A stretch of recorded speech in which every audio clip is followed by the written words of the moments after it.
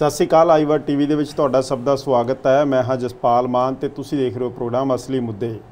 ਹਵਾ, ਪਾਣੀ, ਧਰਤੀ ਨੂੰ ਬਚਾਉਣ ਵਾਸਤੇ ਬਹੁਤ ਘੱਟ ਲੋਕ ਅੱਗੇ ਆਉਂਦੇ ਆ ਤੇ ਉਹਨਾਂ ਵਿੱਚੋਂ ਵੀ ਬਹੁਤ ਘੱਟ ਐਸੇ ਲੋਕ ਆ ਜਿਹੜੇ ਥੋੜੇ ਜਿਹੇ ਰਿਸੋਰਸਸ ਨਾਲ ਕੰਮ ਕਰਦੇ ਆ ਔਰ ਸਾਡੇ ਲਈ ਮਿਸਾਲਾਂ ਬਣਦੇ ਆ। ਉਹਨਾਂ ਚੋਂ ਗੁਰਪ੍ਰੀਤ ਚੰਦਵਾਜਾ ਇੱਕ ਨੇ ਬਾਈ ਜੀ ਸਾਡੇ ਨਾਲ ਸਟੂਡੀਓ ਦੇ ਵਿੱਚ ਪਹੁੰਚੇ ਹੋਏ ਆ। ਇਹਨਾਂ ਨਾਲ ਗੱਲਬਾਤ ਕਰਦੇ ਆ ਜਾਣਦੇ ਆ। ਇਸ ਮਸਲੇ ਉੱਤੇ ਵੀ ਗੱਲਬਾਤ ਕਰਾਂਗੇ। ਮੱਤੇਵਾੜਾ ਜੰਗਲ ਉੱਤੇ ਵੀ ਗੱਲਬਾਤ ਕਰਾਂਗੇ। ਹੋਰ ਵਿਸ਼ੇ ਨੂੰ ਵੀ ਛੂਹਣ ਦਾ ਯਤਨ ਕਰਾਂਗੇ। ਬਾਈ ਜੀ ਸਤਿ ਸ਼੍ਰੀ ਅਕਾਲ ਸਵਾਗਤ ਹੈ। ਸਤਿ ਸ਼੍ਰੀ ਮਿਹਰਬਾਨੀ ਜੀ। ਜੀ। ਕੀ ਹਾਲ ਚਾਲ ਹੈ ਠੀਕ ਠਾਕ ਹੋ? ਹਾਂ ਚੜ੍ਹਦੀ ਕਲਾ ਜੀ। ਜੀ ਜੀ। ਸਭ ਤੋਂ ਪਹਿਲਾਂ ਆਪਾਂ ਮੱਤੇਵਾੜਾ ਦੀ ਸ਼ੁਰੂਆਤ ਹੀ ਕਰਦੇ ਹਾਂ ਜੀ ਕਿ ਸਰਕਾਰ ਦਾ ਜੋ ਅੱਜ ਕੱਲ੍ਹ ਆਪਾਂ ਸਟੇਟਮੈਂਟਾਂ ਸਾਰੀਆਂ ਦੇਖ ਰਹੇ ਹਾਂ ਜਦੋਂ ਸੱਤਾ ਦੇ ਵਿੱਚ ਨਹੀਂ ਸੀ ਉਸ ਵੇਲੇ ਦੀਆਂ ਸਟੇਟਮੈਂਟਸ ਵੀ ਦੇਖੀਆਂ। ਹੁਣ ਕਹਾਣੀ ਕਿੱਥੇ ਜੇ ਖੜੀ ਹੋਈ ਹੈ ਸਭ ਤੋਂ ਪਹਿਲਾਂ? ਔਰ ਰੌਲਾ ਕਿਉਂ ਇੰਨਾ ਜ਼ਿਆਦਾ ਇਸ ਮਸਲੇ ਦਾ ਪਾਇਆ ਜਾ ਰਿਹਾ? ਦੇਖੋ ਜੀ ਜਿਹੜਾ ਪੰਜਾਬ ਦਾ ਵਾਤਾਵਰਣ ਆ ਜੀ। ਉਹ ਬਹੁਤ ਹੀ ਗੰਭੀਰ ਸੰਕਟ ਵਿੱਚ ਗੁਜ਼ਰ ਰਿਹਾ। ਜੀ। ਜਿਸ ਦੇ ਪ੍ਰਭਾਵ ਆਪਾਂ ਨੂੰ ਹੁਣ ਬੜੇ ਜੰਗੀ ਪੱਧਰ ਤੇ ਦਿਸ ਰਹੇ ਆ। ਪੰਜਾਬ ਦੀ ਧਰਤੀ ਜਿਹੜੀ ਸੂਰਬੀਰ ਯੋਧਿਆਂ ਦੀ ਧਰਤੀ ਸੀਗੀ ਉਹ ਅੱਜ ਬਿਮਾਰਾਂ ਦੀ ਧਰਤੀ ਬਣ ਗਿਆ। ਜੀ। ਧੜਾ ਧੜ ਹਸਪਤਾਲ ਖੁੱਲ ਰਹੇ ਨੇ। ਜਿੱਥੇ ਤੁਸੀਂ ਗੱਲ ਮੱਤੇਵਾੜੇ ਦੀ ਕਰ ਰਹੇ ਹੋ, ਮੱਤੇਵਾੜੇ ਜੰਗਲ ਦੇ ਨਾਲ ਜਿਹੜਾ ਟੈਕਸਟਾਈਲ ਪਾਰਕ ਬਣਾਉਣ ਜਾ ਰਹੀ ਹੈ ਸਰਕਾਰ 950 ਏਕੜ 'ਚ। ਅਸੀਂ ਇੰਡਸਟਰੀ ਦੇ ਵਿਰੋਧੀ ਨਹੀਂ ਗਏ। ਅਸੀਂ ਚਾਹੁੰਦੇ ਆ ਪੰਜਾਬ ਦੇ ਵਿੱਚ ਇੰਡਸਟਰੀ ਆਵੇ, ਜਿਹੜੀ ਵਾਤਾਵਰਣ ਅਨੁਕੂਲ ਹੋਵੇ, ਜਿਹੜੀਆਂ ਸਾਡੀ ਫਸਲ ਵਿਭਿੰਨਤਾ ਦੇ ਅਨੁਸਾਰ ਲੱਗੇ। ਡਾਈਂਗ ਇੰਡਸਟਰੀ ਨੂੰ ਅਸੀਂ ਪੰਜਾਬ 'ਚ ਕੀ ਕਰਾਉਣਾ? ਪੰਜਾਬ ਦੀ ਧਰਤੀ ਦਾ ਪਾਣੀ ਕੱਢ ਕੇ, ਹਵਾ, ਪਾਣੀ, ਉਹਨੇ ਜ਼ਹਿਰੀਲਾ ਕਰ ਦੇਣਾ। ਜਿਹਦੀ ਪਹਿਲਾਂ ਆਪਾਂ ਉਦਾਹਰਣ ਬੁੱਢਾ ਨਾਲਾ ਦੇਖ ਰਹੇ ਹਾਂ। ਪਿਛਲੇ 30 35 ਸਾਲਾਂ ਦੇ ਵਿੱਚ ਜਿਹੜਾ ਲੁਧਿਆਣੇ ਦੇ ਅਖੌਤੀ ਵਿਕਾਸ ਨੇ ਪੰਜਾਬ ਦੇ ਜਿਹੜੇ ਪਾਣੀਆਂ ਦਾ ਸਤਿਆਨਾਸ਼ ਕੀਤਾ ਜਿਹੜਾ ਬੁੱਢਾ ਦਰਿਆ ਹੁੰਦਾ ਸੀਗਾ ਉਹਨੂੰ ਬੁੱਢੇ ਨਾਲੇ ਦਾ ਨਾਮ ਦੇਤਾ। ਜੀ। ਉਹ ਦਰਿਆਵਾਂ ਦੇ ਵਿੱਚ ਹੁੰਦਾ ਹੋਇਆ ਪਾਣੀ ਨਹਿਰਾਂ 'ਚੋਂ ਹੁੰਦਾ ਹੋਇਆ ਆਪਣੀਆਂ ਰਸੋਈਆਂ ਤੱਕ ਪਹੁੰਚਿਆ ਤੇ ਉਹਨੇ ਅਨੇਕਾਂ ਹੀ ਬਿਮਾਰੀਆਂ ਲੋਕਾਂ ਦੇ ਘਰਾਂ ਤੱਕ ਭੇਜੀਆਂ। ਤੇ ਜਿਹੜੀ ਨਵੀਂ ਸਰਕਾਰ ਬਣੀ ਆ ਪਿਛਲੇ ਸਮੇਂ ਦੌਰਾਨ ਜਦੋਂ ਅਸੀਂ ਸੰਘਰਸ਼ ਕਰਦੇ ਸੀਗੇ, ਸਰਦਾਰ ਭਗਵੰਤ ਸਿੰਘ ਮਾਨ ਹੋਣ, ਸਰਦਾਰ ਹਰਪਾਲ ਸਿੰਘ ਚੀਮਾ ਹੋਣ, ਬੀਬੀ ਮਾਣੂਕੇ ਹੋਣ ਜਾਂ ਕੋਈ ਹੋਰ ਹੋਣ, ਉਹ ਸਾਰੇ ਸਾਡੇ ਨਾਲ ਆ ਕੇ ਉਸ ਦਾ ਵਿਰੋਧ ਕਰ ਰਹੇ ਸੀਗੇ ਵੀ ਇਹ ਪ੍ਰੋਜੈਕਟ ਆ ਜਿਹੜਾ ਨਹੀਂ ਗਾ, ਇਹ ਲੋਕਾਂ ਨੂੰ ਉਜਾੜਿਆ ਵੀ ਜਾ ਰਿਹਾ। ਸੇਖੋਵਾਲ ਪਿੰਡ ਦੇ ਵਿੱਚ 47 ਤੋਂ ਜਿਹੜੇ ਉਜੜ ਕੇ ਦਲਤ ਵੀਰ ਆਏ ਸੀ, ਉਹਨਾਂ ਨੂੰ ਉੱਥੇ ਵਸਾਇਆ ਗਿਆ ਸੀ, ਉਹਨਾਂ ਨੂੰ ਜ਼ਮੀਨਾਂ ਦਿੱਤੀਆਂ ਗਈਆਂ ਸੀ। ਉਹ ਪੰਚਾਇਤੀ ਜ਼ਮੀਨਾਂ ਵਾਹ ਕੇ ਆਪਦੇ ਪਰਿਵਾਰ ਪਾਲ ਰਹੇ ਉਹਨਾਂ ਨੂੰ ਵੀ ਉੱਥੇ ਉਜਾੜਿਆ ਜਾ ਰਿਹਾ। ਇਹ ਕਹਿ ਰਹੇ ਸੀ, ਨਹੀਂ ਉਜੜਨੇ ਚਾਹੀਦੇ। ਪਰ ਸਰਕਾਰ ਜ- ਹੈਰਾਨੀ ਉਦੋਂ ਹੋਈ ਜਦੋਂ ਵਿਧਾਨ ਸਭਾ ਦੇ ਵਿੱਚ ਮੁੱਖ ਮੰਤਰੀ ਪੰਜਾਬ ਇਹ ਕਹਿ ਰਹੇ ਆ ਵੀ ਅਸੀਂ ਸੇਖੋਵਾਲ ਕੋਲ ਸੰਮਤੀ ਪ੍ਰੋਜੈਕਟ ਲਾ ਰਹੇ ਆ। ਫਿਰ ਸਮਝ ਇਹ ਨਹੀਂ ਆ ਰਹੀ ਮੈਨੂੰ ਰਾਜਨੀਤਿਕ ਲੋਕਾਂ ਦੀ ਫਿਰ ਜੇ ਪ੍ਰੋਜੈਕਟ 'ਚ ਇੰਨੇ ਗੁਣ ਸੀਗੇ ਜੇ ਤੁਸੀਂ ਲਾਉਣ ਦੀ ਗੱਲ ਕਰ ਰਹੇ ਹੋ ਫਿਰ ਮਗਰਲੀ ਸਰਕਾਰ ਦੀ ਤੁਸੀਂ ਸਪੋਰਟ ਕਰਨੀ ਸੀ ਉਸ ਸਮੇਂ ਕਿਉਂ ਨਾ ਲਵਾਇਆ? ਅੱਜ ਤੁਸੀਂ ਉਸ ਦਾ ਵਿਰੋਧ ਕਰ ਰਹੇ ਹੋ। ਜੀ ਜੀ। ਸਾਡਾ ਮੰਨਣਾ ਇਹ ਆ ਵੀ ਦਰਿਆ ਕੰਡੇ ਦੇ ਉੱਤੇ ਕੋਈ ਵੀ ਇੰਡਸਟਰੀ ਨਹੀਂ ਹੋਣੀ ਚਾਹੀਦੀ। ਇੰਡਸਟਰੀ ਲਾਉਣ ਦਾ ਮਕਸਦ ਇਹ ਵੀ ਉਹਦੇ ਵਿੱਚ ਜ਼ਹਿਰ ਮਿਲਾਓ ਧਰਤੀ 'ਚੋਂ ਪਾਣੀ ਕੱਢੋ ਉਹ 'ਚ ਜ਼ਹਿਰ ਮਿਲਾਓ ਚੱਕ ਕੇ ਦਰਿਆ 'ਚ ਉੱਦਾਂ ਸਿੱਟ ਦਿਓ। ਜਿਹਦਾ ਖਿਆਜਾ ਆਪਾਂ ਭੁਗਤ ਰਹੇ ਆ ਪਹਿਲਾਂ ਆਪਾਂ ਗੱਲ ਕਰਦੇ ਸੀਗੇ ਵੀ ਕੱਲਾ ਜਿਹੜਾ ਕੈਂਸਰ ਆ, ਉਹ ਮਨੁੱਖਾਂ ਨੂੰ ਆ। ਅੱਜ ਸਾਡੇ ਡੇਢ ਡੇਢ ਸਾਲ ਦੇ ਬੱਚੇ ਕੈਂਸਰ ਨੇ ਲਪੇਟ 'ਚ ਲੈ ਰਹੇ ਸਾਡਾ ਪਾਣੀ ਇੱਕ ਉਹਦਾ ਵੱਡਾ ਕਾਰਨ ਆ। ਉਸ ਤੋਂ ਅੱਗੇ ਚਲੇ ਜਾਈਏ, ਬੁੱਢੇ ਨਾਲੇ ਤੋਂ ਜਦੋਂ ਅਸੀਂ ਅੱਗੇ ਨਿਕਲਦੇ ਆ ਜਿਹੜੇ ਉਹ ਬੁੱਢੇ ਨਾਲੇ ਦੇ ਵਸੇ ਹੋਏ ਪਿੰਡ ਨੇ, ਜਾਂ ਗੌਂਸਪੁਰ ਹੋ ਗਿਆ, ਵਲੀਪੁਰ ਹੋ ਗਿਆ, ਜੋ ਵੀ ਪਿੰਡ ਵਸੇ ਨੇ, ਦਰਿਆ, ਪੰਜ ਦਰਿਆਵਾਂ ਦੀ ਧਰਤੀ ਹੋਵੇ ਦਰਿਆਵਾਂ ਦੇ ਵਿੱਚੋਂ ਕੀ ਅਸੀਂ ਦਰਿਆਵਾਂ 'ਚੋਂ ਪਾਣੀ ਜਦੋਂ ਸਾਡੇ ਖੇਤਾਂ ਦੇ ਖਾਲਿਆਂ 'ਚ ਆਉਂਦਾ ਸੀ, ਨਰਮਾ ਘੁੱਟਦੇ ਸੀ, ਜਦੋਂ ਅਸੀਂ 90 ਕਰਨ ਵਿੱਚ ਮੈਂ ਪਾਣੀ ਬੁੱਕ ਭਰ ਕੇ ਐ ਪੀ ਲੈਂਦਾ ਸੀ, ਉਹਦੇ ਵਿੱਚੋਂ ਅੱਗੇ ਮੂੰਹ ਦੇ ਅੱਗੇ ਕੋਈ ਸਾਫਾ ਕਰ ਲੈਣਾ, ਪਾਣੀ ਘਰੋਂ ਨਹੀਂ ਲੈ ਕੇ ਜਾਂਦੇ ਸੀ, ਨਹਿਰ ਤੋਂ ਪੀਂਦੇ ਸੀ। ਉਸ ਦਰਿਆ ਦੇ ਕੰਢੇ ਤੇ ਵਸਣ ਵਾਲੇ ਲੋਕਾਂ ਲਈ ਇਹ ਸਰਾਪ ਹੋਈ ਇੰਡਸਟਰੀ ਜਿਹੜੀ ਅਖੌਤੀ ਵਿਕਾਸ, ਦਰਿਆ ਦੇ ਕੰਢੇ ਤੇ ਲੱਗੇ ਹੋਏ ਨਲਕਿਆਂ ਦੇ ਵਿੱਚੋਂ ਜ਼ਹਿਰ ਨਿਕਲਦੀ ਆ, ਬੁੱਢੇ ਨਾਲੇ ਦੇ ਜਿਹੜੇ ਨਜ਼ਦੀਕ ਆ। ਕਿੱਥੇ ਤੋਂ ਉਹਨਾਂ ਨੂੰ ਪਾਣੀ ਅੰਮ੍ਰਿਤ ਰੂਪੀ ਸੀਗਾ ਕਿੰਨੀਆਂ ਵਿੱਚ ਅਮੁੱਲ ਚੀਜ਼ਾਂ ਨੇ ਪਾਣੀ ਦੇ ਵਿੱਚ ਕੁਦਰਤ ਨੇ ਦਿੱਤੇ ਹੋਏ ਸਰੋਤ ਜਿਹੜੇ ਸਾਡੇ ਸਰੀਰ ਦੀਆਂ ਘਾਟਾਂ ਪੂਰੀਆਂ ਕਰਦੇ ਆ। ਤੇ ਕਿੱਥੇ ਉਹਨੂੰ ਜ਼ਹਿਰ ਬਣਾਤਾ 350 ਫੁੱਟ ਤੋਂ ਉਹ ਪਿੰਡ ਪਾਣੀ ਕੱਢ ਕੇ ਪੀ ਰਹੇ ਆ ਜਿੱਥੇ ਦਰਿਆ ਦੇ ਜਮਾ ਕਿਨਾਰੇ ਤੇ ਬੈਠੇ ਹੋਏ ਆ ਜਿਨ੍ਹਾਂ ਲਈ ਇੱਕ ਦਰਿਆ ਵਰਦਾਨ ਸੀ ਅੱਜ ਉਹਨਾਂ ਲਈ ਸਰਾਫ ਬਣ ਗਿਆ। ਤੇ ਸਰਕਾਰ ਉਤੋਂ ਬੁੱਢਾ ਨਾਲਾ ਸਾਫ਼ ਹਜੇ ਹੋਇਆ ਨਹੀਂ ਇਹਨਾਂ 30 35 ਸਾਲ ਚ। ਉਤੋਂ ਇੱਕ ਹੋਰ ਬੁੱਢਾ ਨਾਲਾ ਬਣਾਉਣ ਜਾ ਰਿਹਾ ਮੱਤੇਵਾੜੇ ਦੇ ਜੰਗਲ ਦੇ ਨਾਲ। ਤੇ ਇਹ ਬਹੁਤ ਗੰਭੀਰ ਸੰਕਟ ਆ ਸਰਕਾਰ ਪੰਜਾਬ ਵਾਸਤੇ ਹੋਰ ਆਏਗਾ। ਅੱਜ ਤੁਸੀਂ ਜਿੱਥੇ ਆਪਾਂ ਗੱਲ ਮਨੁੱਖਾਂ ਦੀ ਕੀਤੀ ਆ ਬੱਚਿਆਂ ਦੀ ਕੀਤੀ ਆ ਬੁੱਢੇ ਨਾਲੇ ਦਾ ਪਾਣੀ ਆ ਜਿਹੜਾ ਹਰੀਕਾ ਹੈੱਡ ਉੱਥੋਂ ਤਕਰੀਬਨ 100 ਕਿਲੋਮੀਟਰ ਦੇ ਲਗਭਗ ਹੋਏਗਾ ਲੁਧਿਆਣੇ ਤੋਂ। ਜੀ ਜੀ ਜੀ। ਪਿਛਲੇ ਸਮੇਂ ਦੌਰਾਨ ਮੱਛੀਆਂ ਤੇ ਰਿਸਰਚ ਹੋਈ ਮੱਛੀਆਂ ਦੇ ਪੇਟ ਦੇ ਵਿੱਚ ਹੈਵੀ ਮੈਟਲ ਜਿਹੜੇ ਉੱਥੇ ਜਾਨਵਰ ਵੀ ਵਿਚਾਰੇ ਉੱਡਦੇ ਆ ਉਹਨਾਂ ਦੇ ਫਰਾਂ ਦੇ ਵਿੱਚ। ਉਦੋਂ ਅੱਗੇ ਚਲੇ ਜਾਈਏ ਆਪਾਂ ਹੰਬੋਰ ਸਾਈਡ ਤੇ ਉਸ ਇਲਾਕੇ ਦੇ ਜਿਹੜੇ ਕਿੰਨੂਆਂ ਦੇ ਬਾਗ ਸੀਗੇ ਜਿਹੜਾ ਇਹਦਾ ਪਾਣੀ ਦੇ ਵਿੱਚ ਕੈਮੀਕਲ ਨੇ ਉਹ ਕੈਮੀਕਲਾਂ ਨੇ ਪਿਛਲੇ ਸਾਲਾਂ ਤੋਂ ਬਾਗ ਸੁੱਕਣੇ ਸ਼ੁਰੂ ਹੋ ਗਏ ਆ। ਜਿਸ ਤਰੀਕੇ ਨਾਲ ਸਾਡੇ ਪਰਿਵਾਰਾਂ ਨੂੰ ਬੱਚਿਆਂ ਨੂੰ ਸਾਡੇ ਪਸ਼ੂਆਂ ਨੂੰ ਬਿਮਾਰੀਆਂ ਨੇ ਘੇਰਿਆ ਹੋਇਆ ਜੀਵ ਨੂੰ ਘੇਰਿਆ ਹੋਇਆ ਬਨਸਪਤੀ ਨੂੰ ਵੀ ਇਸ ਜ਼ਹਿਰੀਲੇ ਪਾਣੀ ਨੇ ਆਪਣੀ ਲਪੇਟ ਚ ਲੈ ਲਿਆ ਪਿਛਲੇ ਦਿਨੀ ਮੈਂ ਇੱਕ ਖਬਰ ਪੜ੍ਹ ਰਿਹਾ ਰਾਜਸਥਾਨ ਤੋਂ ਲੱਗੀ ਸੀ। ਉਹ ਕਹਿੰਦੇ ਵੀ ਸਾਡਾ ਨਹਿਰੀ ਪਾਣੀ ਲਾਉਣੇ ਕਿਉਂਕਿ ਉੱਥੇ ਪਾਣੀ ਤਾਂ ਹੋਰ ਹੈ ਨਹੀਂ। ਜੀ। ਆ ਨਹਿਰਾਂ ਦੇ ਹੀ ਜਾ ਰਿਹਾ ਜਿਹੜੀਆਂ ਆਪਣੀਆਂ ਹਰੀਕੇ ਹੈੱਡ ਤੋਂ ਨਿਕਲਦੀਆਂ। ਉਹ ਕਹਿੰਦੇ ਸਾਡੀ ਜਿਹੜੀ ਜ਼ਮੀਨ ਆ ਉਹਦਾ ਜੈਵਿਕ ਮਾਦਾ ਘਟ ਰਿਹਾ ਫਸਲਾਂ ਦੇ ਝਾੜ ਘਟ ਰਿਹਾ ਕੈਮੀਕਲ ਵਾਲੇ ਨਾਲ। ਹੁਣ ਜਿਹੜੀਆਂ ਮਲ ਮੂਤਰ ਉੱਥੋਂ ਦਾ ਸੀਵਰੇਜ ਦਾ ਪਾਣੀ ਆ ਕਾਰਪੋਰੇਸ਼ਨ ਦਾ ਪਾਣੀ ਆ ਤੇ ਡੇਅਰੀਆਂ ਦਾ ਜਿਹੜਾ ਪਾਣੀ ਆ ਉਹਦੇ ਵਿੱਚ ਬੁੱਢੇ ਨਾਲੇ ਦੇ ਲੋਕ ਸਿੱਟਦੇ ਆ ਉਹ ਪਾਣੀ ਤਾਂ ਕਿਤੇ ਨਾ ਕਿਤੇ ਜਾ ਕੇ ਠੀਕ ਹੋ ਸਕਦਾ ਮਲ ਮੂਤਰ ਪਰ ਕੈਮੀਕਲ ਆ ਭਾਵੇਂ ਉਹ 1000 ਕਿਲੋਮੀਟਰ ਤੱਕ ਜਾਣ ਉਹਨਾਂ ਨੇ ਆਪਦੇ ਪ੍ਰਭਾਵ ਦਿਖਾਉਣੇ ਹੀ ਆ। ਹੁਣ ਸਿੱਧੀ ਜਿਹੀ ਉਦਾਹਰਨ ਆ ਜਦੋਂ ਆਪਾਂ ਖੇਤਾਂ 'ਚ ਕੋਈ ਸਪਰੇਅ ਕਰਦੇ ਆ ਕੋਈ ਇੱਕ 5 ml ਵੀ ਦਵਾਈ ਆਪਾਂ ਪਾ ਦਿੰਨੇ ਆ ਇੱਕ ਪਾਣੀ ਦੀ ਢੋਲੀ ਦੇ ਵਿੱਚ ਉਹ ਸਾਰੇ 'ਚ ਫੈਲ ਜਾਂਦੀ ਆ। ਬਿਲਕੁਲ ਜੀ। ਤੇ ਇਸ ਕਰਕੇ ਜਿਹੜਾ ਉਹਦੇ ਵਿੱਚ ਕੈਮੀਕਲ ਹੈ ਕਦੇ ਟ੍ਰੀਟ ਨਹੀਂ ਹੋ ਸਕਦਾ ਨਾ ਸਰਕਾਰਾਂ ਅਜੇ ਉਸ ਪਾਸੇ ਧਿਆਨ ਆ ਨਾ ਸਾਡੀ ਇੰਡਸਟਰੀ ਵੀ ਬੇਈਮਾਨ ਉਹ ਪੈਸਾ ਬਚਾਉਣ ਦੀ ਖਾਤਰ ਲੋਕਾਂ ਨੂੰ ਮਾਰ ਰਹੀ ਆ। ਤੇ ਜੇ ਸਾਡੇ ਜਿਉਣ ਦਾ ਅਧਿਕਾਰ ਖੋਇਆ ਜਾ ਰਿਹਾ ਹਰ ਮਨੁੱਖ ਨੂੰ ਜਿਉਣ ਦਾ ਅਧਿਕਾਰ ਆ ਅਸੀਂ ਮਨੁੱਖ ਦਾ ਵੀ ਖੋ ਰਹੇ ਆ ਅਸੀਂ ਜਿਹੜੇ ਪਾਣੀ 'ਚ ਜੀਵ ਰਹਿ ਰਹੇ ਆ ਉਹਨਾਂ ਦਾ ਜਿਉਣ ਦਾ ਅਧਿਕਾਰ ਵੀ ਖੋਹ ਲਿਆ।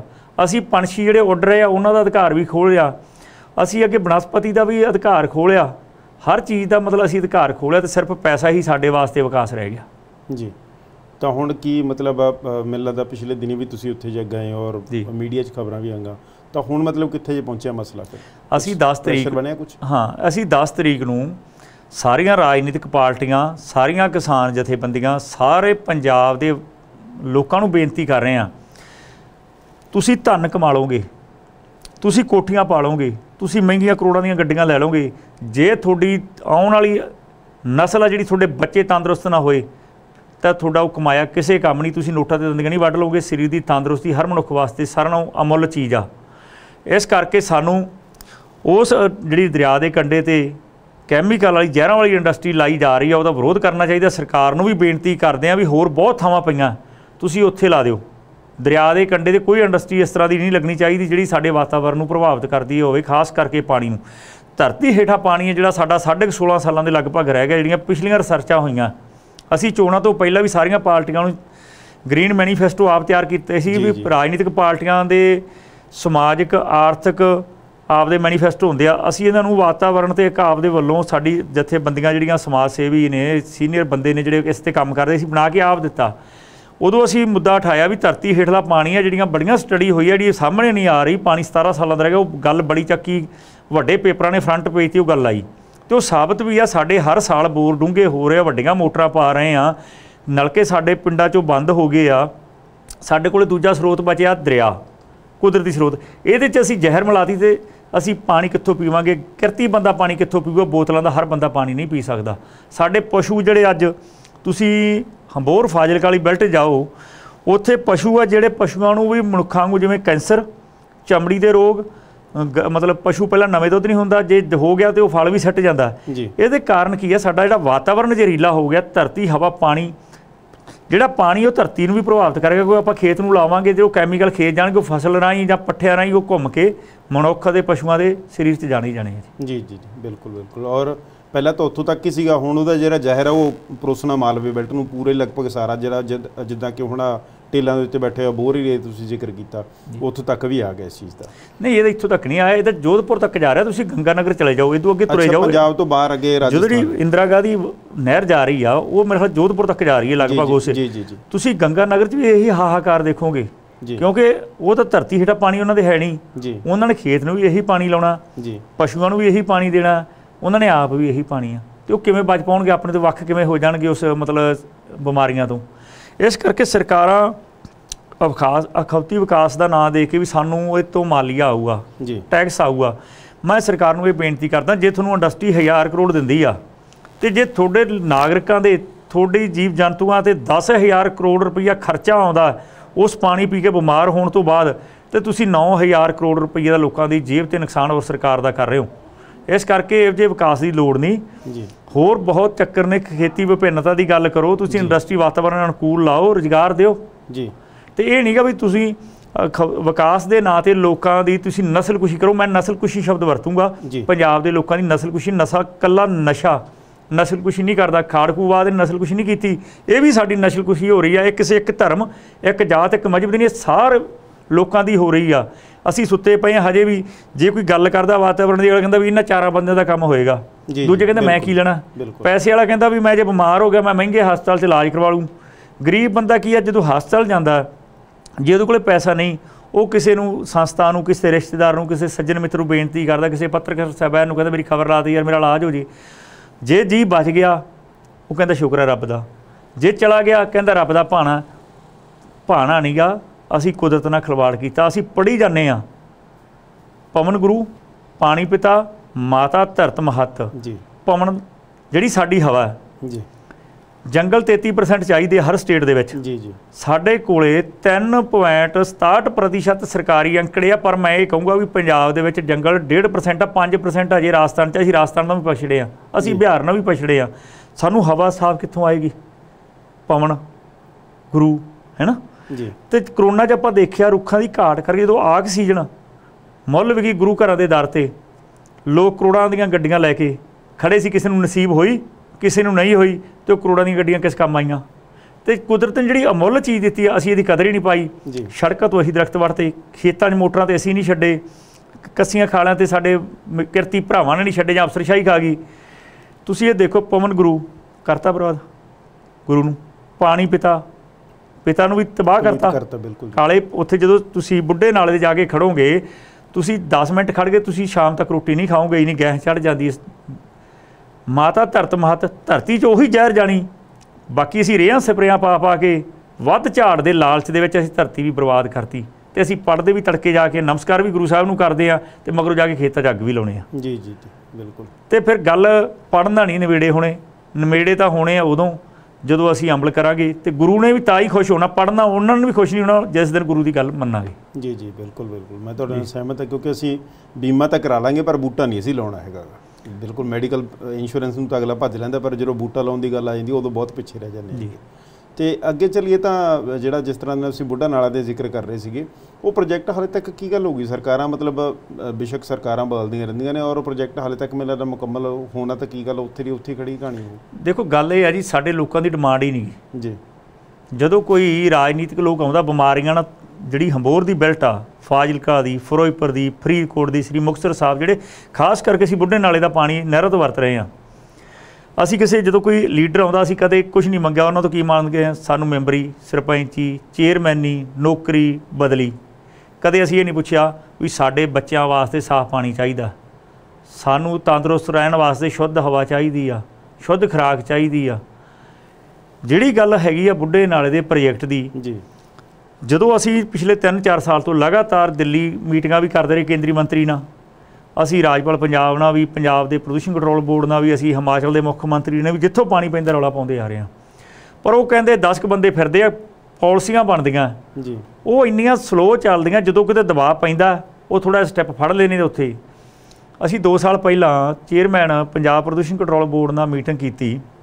ਉਹ ਕਹਿੰਦੇ 31 ਮਾਰਚ 2021 ਨੂੰ ਬੁੱਢੇ ਨਾਲੇ ਨੂੰ ਕਲੀਨ ਕਰ ਦਿਆਂਗੇ ਭਾਵਾਂ ਨਾਲਿਓ ਅੱਛਾ ਜੀ। ਸਟੇਟਮੈਂਟ ਵੀ ਉਹਨਾਂ ਦੀ ਉਸੇ ਤਰ੍ਹਾਂ ਉਹ ਪੇਪਰਾਂ 'ਚ ਲੱਗੀ। ਅੱਜ ਵੀ ਸਾਡੇ ਕੋਲੇ ਪਈ ਆ। ਅੱਛਾ ਜੀ। ਤੇ ਹੁਣ ਤਾਂ 22 ਜਾ ਵੜਿਆ ਤੇ ਹਾਈ ਤਾਂ ਕਹਿੰਦੇ ਹੋਰ ਸਾਲ ਲੱਗੂਗਾ। 650 ਕਰੋੜ ਕੇਂਦਰ ਨੇ ਪਾਸ ਕੀਤਾ ਕੁਝ ਪੰਜਾਬ ਗਵਰਨਮੈਂਟ ਦਾ ਸ਼ੇਅਰ ਆ ਟ੍ਰੀਟਮੈਂਟ ਪਲਾਂਟ ਲਾਉਣ ਦਾ। ਮੈਨੂੰ ਇੰਨਾ ਵੀ ਯਕੀਨ ਆ ਉਹ ਬਣ ਵੀ ਜਾਣ ਚੱਲਣੇ ਨਹੀਂ ਫਿਰ ਇਹਨਾਂ ਤੋਂ ਬਿਜਲੀ ਦੇ ਬਿੱਲ ਨਹੀਂ ਦਿੱਤੇ ਜਾਣੇ।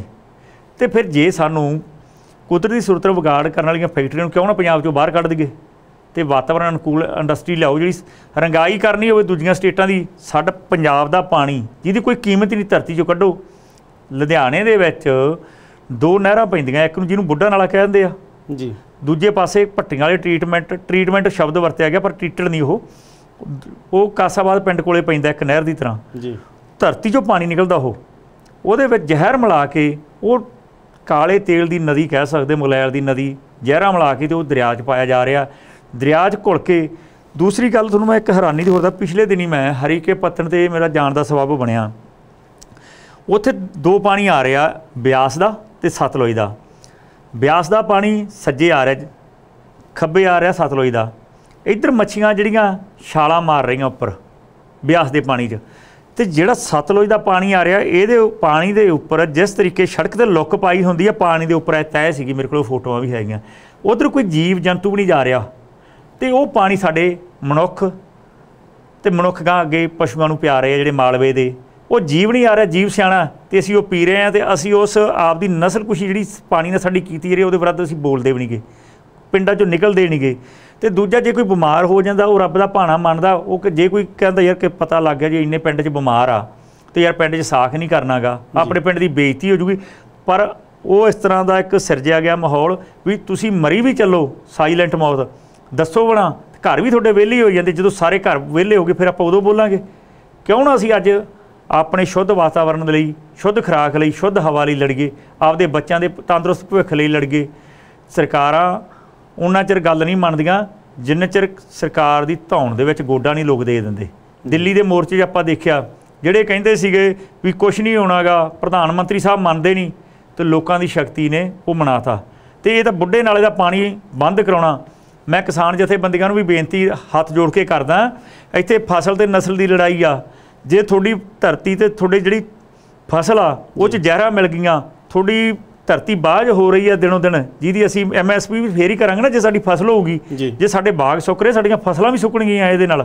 ਤੇ ਤੁਹਾਡੀ ਜਿਹੜੀ ਫਸਲ ਦੀ ਕਮਾਈ ਅਸੀਂ ਨਸਲ ਵਾਸਤੇ ਕਰ ਰਹੇ ਆ ਤੇ ਜੇ ਸਾਡੀ ਨਸਲ ਹੀ ਨਾ ਬਚੀ ਤੇ ਫਿਰ ਅਸੀਂ ਐਮਐਸਪੀ ਵੀ ਕਰਾਂਗੇ ਘੱਟੋ ਘੱਟ ਕਿਸਾਨ ਜਥੇਬੰਦੀਆਂ ਨੂੰ ਬੇਨਤੀ ਕਰਦਾ ਪਾਣੀ ਦੀ ਜਿਹੜੀ ਲੜਾਈ ਆ ਬਹੁਤ ਗੰਭੀਰ ਲੜਾਈ ਆ। ਜਥੇਬੰਦੀਆਂ ਇਹ ਚ ਬਹੁਤ ਵੱਡਾ ਰੋਲ ਅਦਾ ਕਰ ਸਕਦੀਆਂ। ਬੁੱਢੇ ਨਾਲੇ ਤੇ ਟਾਈਮ ਕੱਢ ਕੇ ਜਾ ਕੇ ਦੇਖਣ ਵੀ ਸਾਡੇ ਖੇਤਾਂ ਨੂੰ ਸਾਡੇ ਬੱਚਿਆਂ ਨੂੰ ਸਾਡੇ ਪਰਿਵਾਰਾਂ ਵਾਸਤੇ ਕਿਸ ਤਰ੍ਹਾਂ ਜ਼ਹਿਰ ਘੋਲ ਕੇ ਦਿੱਤੀ ਜਾ ਰਹੀ ਆ। ਉਸ ਵਾਸਤੇ ਵੀ ਸਾਨੂੰ ਦਿੱਲੀ ਵਾਂਗੂ ਇੱਕ ਮੋਰਚਾ ਲਾਉਣਾ ਚਾਹੀਦਾ ਰਲ ਕੇ। ਜੀ ਜੀ ਜੀ। ਬਿਲਕੁਲ ਬਾਈ ਜੀ ਜਾਣਾ ਚਾਹੀਦਾ। ਔਰ ਇਹ ਕਾਫਲਾ ਤੁਹਾਡਾ ਹੁਣ ਲੰਮਾ ਵੀ ਹੋ ਰਿਹਾ। ਪਹਿਲਾਂ ਦੇ ਕੰਪੈਰੀਟਿਵ ਜਦੋਂ ਸ਼ੁਰੂ ਕੀਤਾ ਸੀ ਉਹਦੇ ਮੁਕਾਬਲੇ ਹੁਣ? ਨਹੀਂ ਹੁਣ ਬਹੁਤ ਜਾਗਰਤਾ ਆ ਰਹੀ ਹੈ। ਚੰਗੇ ਲੋਕ ਵੀ ਆ ਰਹੇ ਆ। ਸਮਾਜ ਦੇ ਵਿੱਚ ਚੰਗੇ ਅਫਸਰਾਂ ਦੇ ਮੈਨੂੰ ਜਿਹੜੇ ਟੌਪ ਰੈਂਕ ਤੇ ਰਹੇ ਆ ਉਹਨਾਂ ਦੇ ਫੋਨ ਵੀ ਆ ਰਹੇ ਆ ਵੀ ਬੁੱਢੇ ਨਾਲੇ ਦਾ ਜਿਹੜਾ ਹੈਗਾ ਭਾਈ ਅਸੀਂ ਤੁਹਾਡਾ ਹਰ ਪੱਖ ਤੋਂ ਸਹਿਯੋਗ ਕਰਨ ਲਈ ਤਿਆਰ ਆ। ਲੋਕ ਵੀ ਬੋਲ ਰਹੇ ਆ ਪਰ ਜਿੰਨੇ ਪੱਧਰ ਤੇ ਬੋਲਣਾ ਚਾਹੀਦਾ ਉਹ ਨਹੀਂ ਬੋਲ ਰਹੇ। ਸਾਡੀਆਂ ਕਿਸਾਨ ਜਥੇਬੰਦੀਆਂ ਨੂੰ ਮੈਂ ਬੇਨਤੀ ਕੀਤੀ ਹੈ ਤੁਹਾਨੂੰ ਵੀ ਪਤਾ ਵੀ ਉਹਨਾਂ ਨੂੰ ਇੰਨੀ ਤਾਂ ਸਮਝ ਹੈਗੀ ਆ ਨਾ ਵੀ ਜਿਹੜਾ ਅਸੀਂ ਖੇਤਾਂ ਨੂੰ ਮੰਗ ਰਹੇ ਆ ਵੀ ਸਾਨੂੰ ਮੋਗਾ ਦਿੱਤਾ ਜਾਵੇ ਸਾਨੂੰ ਨਹਿਰ ਦਾ ਪਾਣੀ ਸਾਡੇ ਖੇਤ ਨੂੰ ਲੱਗੇ ਧਰਤੀ ਹੇਠਲਾ ਸਾਡਾ ਪਾਣੀ ਮਾੜਾ। ਤੇ ਧਰਤੀ ਹੇਠਲਾ ਪਾਣੀ ਮਾੜਾ ਹੋਣ ਕਰਕੇ ਸਾਡੀ ਫਸਲ ਘਟਦੀ ਆ। ਜ਼ਮੀਨ ਖਰਾਬ ਹੁੰਦੀ। ਪਰ ਧਰਤੀ ਹੇਠਲੇ ਪਾਣੀ ਵਰਗੇ ਜ਼ਹਿਰੀਲਾ ਪਾਣੀ ਇਹ ਹੈ ਜਿਹੜਾ ਤੁਸੀਂ ਮੰਗ ਰਹੇ ਹੋ ਘੱਟੋ ਘੱਟ ਉਹਨੂੰ ਸਾਫ਼ ਕਰਾਉਣ ਦੇ ਲਈ ਤਾਂ ਸੰਘਰਸ਼ ਆਪਾਂ ਕਰ ਲਈਏ। ਉੱਥੇ ਅਸੀਂ ਬੋਲਦੇ ਨਹੀਂਗੇ ਹੁਣ। ਕਿੰਨੀਆਂ ਕਿਸਾਨ ਜਥੇਬੰਦੀਆਂ ਦੇ ਆਗੂ ਲੁਧਿਆਣੇ ਜ਼ਿਲ੍ਹੇ ਦੇ ਆ। ਉਹਨਾਂ ਦੀ ਨੱਕ ਥੱਲੇ ਉਹ ਪਾਣੀ ਪੈ ਰਿਹਾ। ਕੋਈ ਅੱਜ ਦੇ ਨਹੀਂ ਪੈ ਰਿਹਾ 30 35 ਸਾਲ।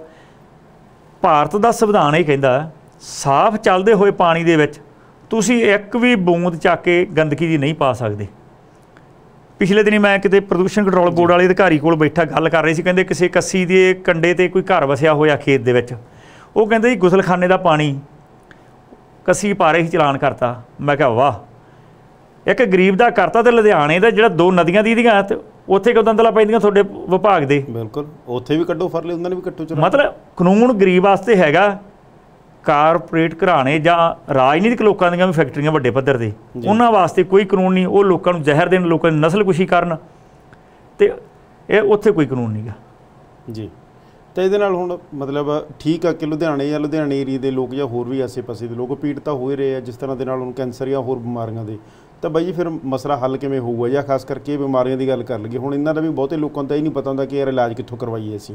ਜਿਸ ਤਰ੍ਹਾਂ ਤੁਸੀਂ ਮੈਨੂੰ ਲੱਗਦਾ ਕੈਂਸਰ ਦੇ ਲਈ ਵੀ ਫਰੀਦਕੋਟ ਦੇ ਵਿੱਚ ਬਹੁਤ ਜ਼ਿਆਦਾ ਮੈਂ ਦੇਖਿਆ ਤੁਹਾਡੀਆਂ ਪੋਸਟਾਂ ਸੋਸ਼ਲ ਮੀਡੀਆ ਤੇ ਦੇਖਦੇ ਰਹਿੰਦੇ ਆਗੇ ਤਾਂ ਉਹਦੇ ਲਈ ਮਤਲਬ ਕੀ ਜਿਹੜਾ ਬੰਦਾ ਹੁਣ ਠੀਕ ਬਿਮਾਰ ਹੋ ਗਿਆ ਉਹਦੇ ਲਈ ਕੀ ਮਤਲਬ ਸਾਧਨ ਆ ਜਾਂ ਉਹ ਉਹ ਕੀ ਕਰੇ ਵਿਚਾਰਾ ਹੁਣ? ਗੱਲ ਵੀਰ ਜੀ ਇਹੀ ਆ ਗੱਲ ਅਸੀਂ ਆਪੇ ਹੱਕਾਂ ਲਈ ਲੜਦੇ ਨਹੀਂ ਜਾਗਦੇ ਨਹੀਂ ਮੰਗਣੀ ਕਰਦੇ। ਜੀ। ਅਸੀਂ ਪਿਛਲੇ ਸਮੇਂ ਦੌਰਾਨ ਰਾਈਟ ਟੂ ਟ੍ਰੀਟਮੈਂਟ ਦੀ ਗੱਲ ਕੀਤੀ। ਜੀ। ਜੇ ਇੱਕ ਚੁਣੇ ਹੋਏ ਨੁਮਾਇੰਦੇ ਨੂੰ ਐਮਐਲਏ ਐਮਪੀ ਸਰ ਪੀਐਮ ਤੋਂ ਲੈ ਕੇ ਹਰ ਮੁਲਾਜ਼ਮ ਦਾ ਮੁਫਤ ਇਲਾਜ ਉਸਦਾ, ਫਿਰ ਕਿਰਤੀ ਬੰਦੇ ਆ ਜਿਹੜੇ। ਉਹ ਭਾਵੇਂ ਕਿਸਾਨ ਹੋਣ, ਮਜ਼ਦੂਰ ਹੋਣ, ਦੁਕਾਨਦਾਰ ਹੋਣ, ਕੱਚੇ ਕਾਮੇ ਹੋਣ, ਉਹਨਾਂ ਦਾ ਕਿਉਂ ਨਹੀਂ ਮੁਫਤ ਇਲਾਜ ਮਿਲ ਰਿਹਾ? ਕਿਉਂਕਿ ਦੇਸ਼ ਦੀ ਤਰੱਕੀ ਕੱਲਾ ਅਫਸਰ ਨਹੀਂ ਕਰ ਸਕਦਾ, ਲੀਡਰ ਨਹੀਂ ਕਰ ਸਕਦਾ। ਜੇ ਕੋਈ ਬੰਦਾ ਖੇਤ 'ਚ ਕੰਮ ਕਰਦਾ, ਕੋਈ ਘਾਹ ਵੜਦਾ ਕੋਈ ਪੱਠੇ ਵੜਦਾ ਕੋਈ ਝੋਨੇ ਨੂੰ ਪਾਣੀ ਲਾਉਂਦਾ, ਕੋਈ ਨਰਮਾ ਚੁਗਦਾ ਕੋਈ ਸਬਜ਼ੀ ਵੇਚਦਾ ਕੋਈ ਪੈਦਾ ਕਰਦਾ ਉਹਨਾਂ ਸਾਰਿਆਂ ਦੀ ਕਿਰਤ ਦੇ ਨਾਲ ਹੀ ਦੇਸ਼ ਚੱਲਦਾ। ਇਕੱਲੇ ਲੀਡਰ ਤੇ ਅਫਸਰ ਨਹੀਂ ਚਲਾਉਂਦੇਗੇ ਜੀ ਜੀ। ਤੇ ਉਹਨਾਂ ਨੂੰ ਕਾਨੂੰਨ ਦੋ ਤਰ੍ਹਾਂ ਦਾ ਅਮੀਰਾਂ ਨੇ ਆਪਣੀ ਲਈ ਆਪ ਘੜ ਲਿਆ ਉੱਤੇ ਬੈਠ ਕੇ ਪਾਲਿਸੀਆਂ ਬਣਾ ਲਈਆਂ ਥੱਲੇ ਵਾਸਤੇ। ਅਸੀਂ ਰਾਈਟ ਟੂ ਟ੍ਰੀਟਮੈਂਟ ਦੀ ਗੱਲ ਕੀਤੀ ਵੀ ਹਰ ਨੂੰ ਜਿਉਣ ਦਾ ਅਧਿਕਾਰ ਦਿੰਦਾ ਭਾਰਤ ਦਾ ਸੰਵਿਧਾਨ। ਤੇ ਫਿਰ ਜਦੋਂ ਸਾਡੇ ਬੰਦੇ ਬਿਮਾਰ ਹੋ ਜਾਂਦੇ ਕਿਰਤੀ ਤੇ ਉਹਨਾਂ ਕੋਲੇ ਇੱਕ ਪਾਸੇ ਭਿਆਨਕ ਬਿਮਾਰੀ ਦੂਜੇ ਪਾਸੇ ਪੈਸਾ ਨਹੀਂ।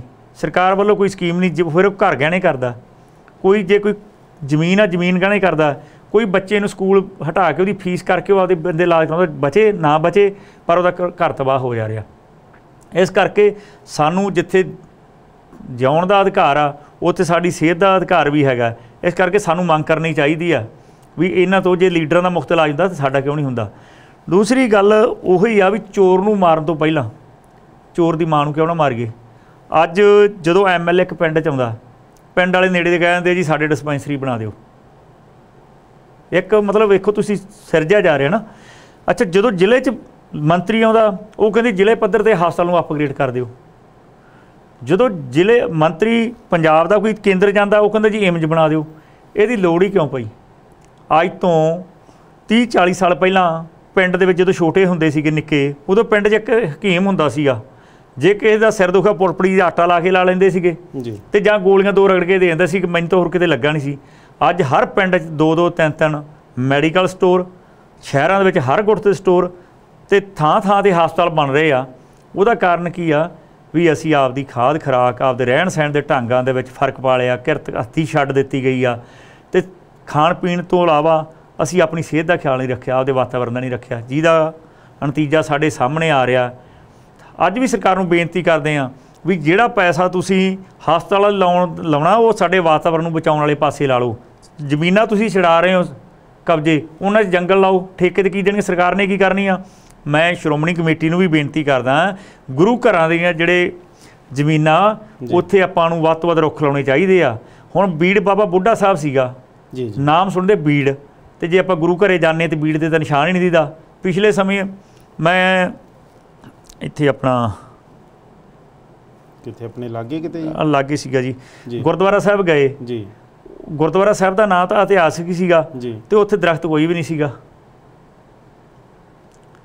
ਤੇ ਇਸ ਕਰਕੇ ਸਾਨੂੰ ਧਾਰਮਿਕ ਜਿਹੜੇ ਸਾਡੀਆਂ ਜ਼ਮੀਨਾਂ ਗੁਰੂ ਘਰਾਂ ਦੀਆਂ ਉੱਥੇ ਦਰਖਤ ਲਾਉਣੇ ਚਾਹੀਦੇ ਆ ਜੋ ਸਾਡਾ ਰਵਾਇਤੀ ਜਿਸ ਤਰੀਕੇ ਨਾਲ ਸਾਡਾ ਮਤਲਬ ਸੀਗਾ ਜਿਵੇਂ ਇਤਿਹਾਸ ਉਸ ਤਰ੍ਹਾਂ ਦਾ ਸਿਰਜਣਾ ਚਾਹੀਦਾ ਸਰਕਾਰੀ ਜ਼ਮੀਨਾਂ 'ਚ ਲਾਉਣੇ ਚਾਹੀਦਾ ਕਿਸਾਨ ਵੀਰਾਂ ਨੂੰ। ਖੇਤਾਂ ਦੇ ਵਿੱਚ ਘੱਟੋ ਘੱਟ ਵੀ ਬਾਹਲੇ ਨਹੀਂ ਤਾਂ ਮੋਟਰਾਂ ਤੇ 5-10 ਦਰਖਤ ਅਸੀਂ ਲਾ ਲਗੇ। ਅਸੀਂ ਘੇਰੇ ਬਣਾਤੇ ਵੱਡੇ। ਕੰਪਿਊਟਰ ਕਾਰ ਰਾਹੀਂ ਲਾ ਲਾ ਕੇ ਝੋਨੇ ਦੇ ਕਰਕੇ ਅਸੀਂ ਖੇਤਾਂ ਦੇ ਵਿੱਚ ਇੱਕ ਵੀ ਦਰਖਤ ਨਹੀਂ ਛੱਡਿਆ। ਤੇ ਗੱਲ ਤਾਂ ਸਿਰਫ ਇੱਥੇ ਹੀ ਆ ਵੀ ਪੈਸੇ ਨਾਲ ਮਨ ਨੂੰ ਸ਼ਾਂਤੀ ਨਹੀਂ ਮਿਲਣੀ। ਸ਼ਾਂਤੀ ਤੁਹਾਡੇ ਸਰੀਰਕ ਤੰਦਰੁਸਤੀ 'ਚੋਂ ਹੀ ਆਉਣੀ ਆ। ਜੀ। ਤੇ ਜਿਹੜੀਆਂ ਸਾਡੀਆਂ ਸਰਕਾਰਾਂ ਇਹਨਾਂ ਦਾ ਤਾਂ ਕੰਮ ਹੀ ਬਸ ਕੀ ਕਹੀਏ ਵੀ ਲੀਡਰ ਤੇ ਅਫਸਰਸ਼ਾਹੀ ਦਾ ਪਤਾ ਨਹੀਂ ਛਾਲ ਮਾਰ ਕੇ ਕਦੋਂ ਕਿਹੜੇ ਪਾਸੇ ਇਹਨਾਂ ਨੇ ਹੋ ਜਾਣਾ ਤੇ ਆਪਾਂ ਹੁਣ ਦੇਖਿਆ ਹੀ ਪਿਛਲੇ ਸਮੇਂ ਇਹੀ ਸਰਕਾਰ ਜਿਹੜੀ ਹੁਣ ਬਣੀ ਆ ਇਸ ਇੰਡਸਟਰੀ ਦਾ ਵਿਰੋਧ ਕਰ ਰਹੀ ਸੀ। ਅੱਜ ਛਾਲ ਮਾਰ ਕੇ ਉਹਦੇ ਗੁਣ ਦੱਸ ਰਹੀ ਆ ਤੇ ਜਿਹੜੇ ਉਸ ਸਮੇਂ ਬਣਾ ਰਹੇ ਸੀ ਉਹ ਅੱਜ ਸਾਡੇ ਨਾਲ ਖੜੇ ਆ। ਬੜਾ ਇਤਫਾਕ ਹੈ ਜੀ। ਤੇ ਇਸ ਕਰਕੇ ਲੋਕਾਂ ਨੂੰ ਆਪਣੇ ਹੱਕਾਂ ਲਈ ਆਪ ਜਾਗਣਾ ਪਊਗਾ ਆਪ ਨੂੰ ਸੰਘਰਸ਼ ਕਰਨਾ ਪਊਗਾ। ਜੀ ਜੀ ਜੀ। ਤੁਹਾਡੇ ਜ਼ਿਲ੍ਹੇ ਦੇ ਵਿੱਚ ਇੱਕ ਮੰਤਰੀ ਸਾਹਿਬ ਆ ਗਏ ਇੱਕ ਸਪੀਕਰ ਸਾਹਿਬ ਆ ਗਏ ਤਾਂ ਉਹਨਾਂ ਤੱਕ ਪਹੁੰਚ ਕੀਤੀ ਹੈ ਦੇਖੋ ਅਸੀਂ ਜੀ। ਹਾਂ। ਮੈਂ ਲੱਖੀ ਜੰਗਲ ਦੀ ਗੱਲ ਕਰ ਰਹੀ ਸੀ ਜਿਹੜੇ ਭੁੱਲ ਗਏ ਸੀ ਲੱਖੀ ਜੰਗਲ ਦੀ ਗੱਲ ਕਹਿ ਰਹੇ ਸੀ। ਗੁਰੂ ਘਰ ਤੇ ਜਦ ਜੰਗਲ ਦੇਖਣ ਗਏ ਲੱਖੀ ਦਾ ਸਾਨੂੰ ਉੱਥੇ ਕੁਝ ਦਿਸਿਆ ਨਹੀਂ ਹੈ ਨਾ? ਇਸ ਕਰਕੇ ਮੈਂ ਬੇਨਤੀ ਕਰਦਾ ਪ੍ਰਬੰਧਕਾਂ ਨੂੰ ਉੱਥੇ ਜੰਗਲ ਗੁਰੂ ਸਾਹਿਬ ਦਾ ਉਸ ਜਗ੍ਹਾ ਹੈਗੀ ਹੈ ਉੱਥੇ ਲਾਇਆ ਜਾਵੇ। ਜੀ ਜੀ ਬਿਲਕੁਲ ਜਿਹੜਾ ਦੂਜਾ ਸਵਾਲ ਤੁਹਾਡਾ ਹੈਗਾ ਵੀ ਮੰਤਰੀ ਸਾਹਿਬ ਆ ਗਏ ਜਾਂ ਕੋਈ ਸਪੀਕਰ ਸਾਹਿਬ ਆ ਗਏ ਅਸੀਂ ਸਾਰਿਆਂ ਨੂੰ ਬੇਨਤੀ ਕੀਤੀ ਸਪੀਕਰ ਸਾਹਿਬ ਨੇ ਆਪਦੀ ਜਿਹੜੀ ਜ਼ਿੰਮੇਵਾਰੀ ਬਣਦੀ ਸੰਵਿਧਾਨਕ ਉਹ ਨਿਭਾਤੀ ਆ। ਉਹਨਾਂ ਨੇ ਚਿੱਠੀ ਲਿਖ ਕੇ ਇਸ ਵਿਸ਼ੇ ਤੇ ਗੰਭੀਰ ਵਿਸ਼ੇ ਤੇ ਮੁੱਖ ਮੰਤਰੀ ਸਾਹਿਬ ਨੂੰ ਭੇਜਤੀ ਆ। ਹੁਣ ਮੁੱਖ ਮੰਤਰੀ ਸਾਹਿਬ ਦਾ ਫਰਜ਼ ਬਣਦਾ ਹੈ। ਦੂਜੀ ਗੱਲ ਮੈਨੂੰ ਇੱਥੇ ਇੱਕ ਹੋਰ ਹੈਰਾਨੀ ਹੁੰਦੀ ਆ ਜੀ। ਵੀ ਸਰਦਾਰ ਭਗਵੰਤ ਸਿੰਘ ਮਾਨ ਰਾਜਨੀਤੀ 'ਚ ਆਉਣ ਤੋਂ ਪਹਿਲਾਂ ਫਾਜ਼ਿਲਕੇ ਦੇ ਇਹਨਾਂ ਕਿੱਕਰ ਖੇੜਾ ਇਹਨਾਂ ਪਿੰਡਾਂ ਦੇ ਵਿੱਚ ਡੰਗਰ ਖੇੜਾ ਇਹਨਾਂ ਪਿੰਡਾਂ ਦੇ ਵਿੱਚ ਆਏ ਸੀਗੇ। ਜੀ। ਉਹਨਾਂ ਨੂੰ ਪਤਾ ਵੀ ਬੱਚੇ ਕਿਵੇਂ ਉੱਥੇ ਮਾਨਸਿਕ ਵਿਕਾਸ ਘਾਟਾ ਬੱਚਿਆਂ ਦਾ ਬਿਮਾਰੀਆਂ ਕਿਵੇਂ ਆ ਉਹ ਸਮਝਦੇ ਆ ਹਰ ਗੱਲ ਨੂੰ ਪਾਣੀ ਮਾੜਾ। ਜੀ। ਪਰ ਮੈਨੂੰ ਇਹ ਲੱਗ ਰਿਹਾ ਭਗਵੰਤ ਸਿੰਘ ਮਾਨ ਆ ਉਹ ਇੰਡਸਟਰੀ ਲਾਉਣ ਦੇ ਦਿਲੋਂ ਇਚਕ ਨਹੀਂ ਉਹ- ਉਹਦੇ ਪਿੱਛੇ ਜਿਹੜੀ ਦਿੱਲੀ ਦੀ ਸ਼ਕਤੀ ਬੈਠੀ ਹੈ ਨਾ ਚੰਡੀਗੜ੍ਹ ਆ ਕੇ ਉਹਨਾਂ ਦੇ ਹਿੱਤ ਕਾਰਪੋਰੇਟ ਘਰਾਣਿਆਂ ਨਾਲ ਜੁੜੇ ਹੋਣਗੇ ਕਿਤੇ। ਜੀ। ਤੇ ਉਹ ਮਜਬੂਰ ਕਰਕੇ ਪੰਜਾਬ ਦਾ ਜਿਹੜਾ ਵਾਤਾਵਰਣ ਮਾਹੌਲ ਆ ਜਿਹੜਾ ਸਿਰਜ ਰਹੇ ਆ ਮੈਂ ਸਰਦਾਰ ਭਗਵੰਤ ਸਿੰਘ ਮਾਨ ਨੂੰ ਬੇਨਤੀ ਕਰਦਾ ਵੀ ਪੰਜਾਬ ਦੇ ਲੋਕਾਂ ਨੇ ਤੁਹਾਨੂੰ ਦੇਖਿਆ ਦਿੱਲੀ ਨੂੰ ਨਹੀਂ ਦੇਖਿਆਗਾ। ਇਸ ਕਰਕੇ ਤੁਸੀਂ ਆਪਦੀ ਜਵਾਨ ਦੇ ਖਰੇ ਉਤਰੋ। ਉਸ ਸਮੇਂ ਤੁਸੀਂ ਇਹਦੇ ਨੁਕਸਾਨ ਦੱਸ ਰਹੇ ਸੀਗੇ ਮੱਤੇਵਾੜੇ ਦੇ ਜੰਗਲ ਦੇ ਨਾਲ ਜਿਹੜੀ ਇੰਡਸਟਰੀ ਲੱਗ ਰਹੀ ਆ ਅੱਜ ਆਪਦੀ ਜਵਾਨ ਨਿਭਾਓ ਇਹ ਪ੍ਰੋਜੈਕਟ ਨੂੰ ਕੈਨਸਲ ਕਰੋ ਹੋਰ ਥਾਂ ਸ਼ਿਫਟ ਕਰਨਾ ਕਰ ਲਓ ਜਿੱਥੇ ਸਾਡੇ ਵਾਤਾਵਰਣ ਦਾ ਨੁਕਸਾਨ ਨਾ ਹੁੰਦਾ ਹੋਵੇ। ਜੀ। ਦੂਜੀ ਸਰਕਾਰ ਇੱਕ ਹੇਰਾਫੇਰੀ ਹੋਰ ਕਰ ਰਹੀ ਆ। ਜੀ। ਪਹਿਲਾਂ ਮੱਤੇਵਾੜੇ ਦੇ ਜੰਗਲ ਦੇ ਨਾਲ ਤੇ ਇਹ ਪ੍ਰੋਜੈਕਟ ਮਸ਼ਹੂਰ ਹੋਇਆ ਟੈਕਸਟਾਈਲ। ਜੀ। ਅੱਜ ਇਹਨਾਂ ਨੇ ਜਦੋਂ ਮੱਤੇਵਾੜੇ ਦਾ ਜੰਗਲ ਦਾ ਨਾਂ ਆ ਗਿਆ ਇਹਨਾਂ ਨੇ ਉਹਦਾ ਨਾਮ ਬਦਲਤਾ ਕੁੰਮਕਲਾ ਕਰਤਾ।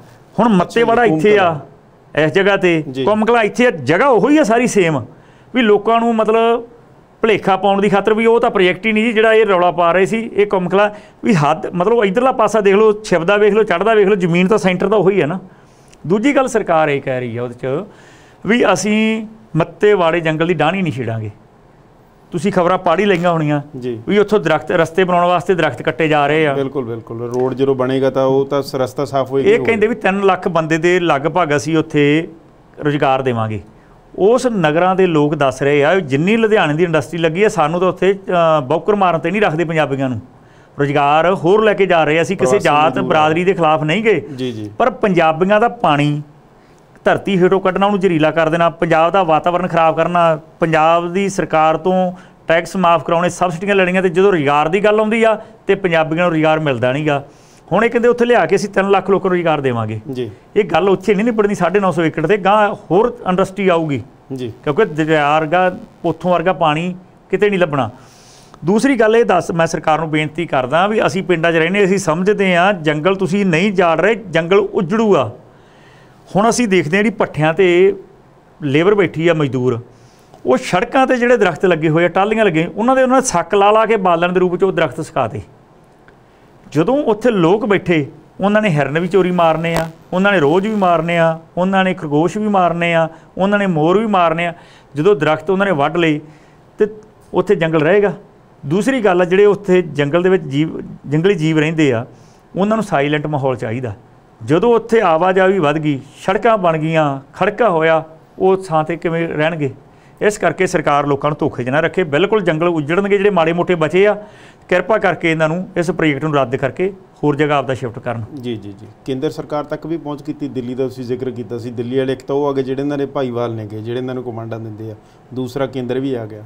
ਨਹੀਂ ਜਿਹੜੇ ਅਸੀਂ ਬੁੱਢੇ ਨਾਲੇ ਬਾਰੇ ਗਏ ਸੀਗੇ ਇਸ ਪ੍ਰੋਜੈਕਟ ਬਾਰੇ ਕੇਂਦਰ ਨਾਲ ਨਹੀਂ ਗੱਲ ਕੀਤੀ। ਅਸੀਂ ਬੁੱਢੇ ਨਾਲੇ ਬਾਰੇ ਸ੍ਰੀ ਗਜਿੰਦਰ ਸ਼ਿਕਾਵਤ ਜੀ।